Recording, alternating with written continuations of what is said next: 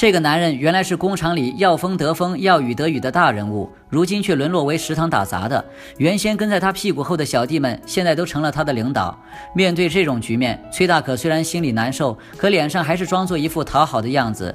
现如今他算是败走麦城，所以他要卧薪尝胆。但当时崔大可当家的时候，干过太多得罪人的事儿，以至于这一下来，许多人都来找他算账。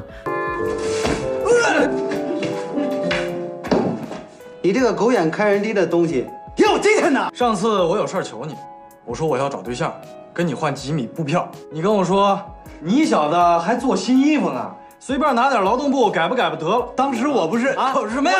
动手！哎哎哎！哥，你别打了，别打了！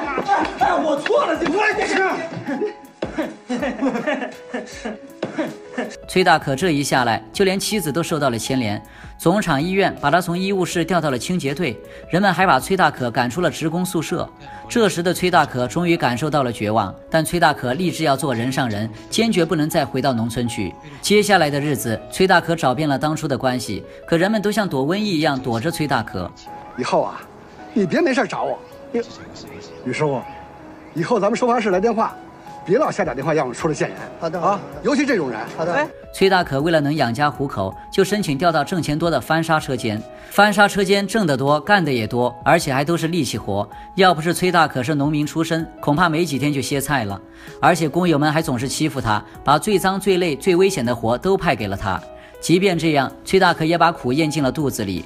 为了他的家庭，他的孩子，为了他能翻身的那一天，这些都是他现在要隐忍的。而丁秋楠看着每天灰头土脸、浑身泥土的崔大可，他也终于感受到了崔大可作为男人的责任和担当。这天，崔大可实在累得不行，不小心让铁水把腿给烫伤了，但这也没有让他停止工作。车间主任被崔大可的精神感动，厂领导也认为崔大可改造的不错，就给予了崔大可帮助，不但恢复了他的工资待遇，还给了一级浮动工资的补贴，并且车间主任还叮嘱工人们不许欺负崔大可，这是崔大可翻身的第一步。然而，一个惊天巨变彻底的让崔大可翻身了。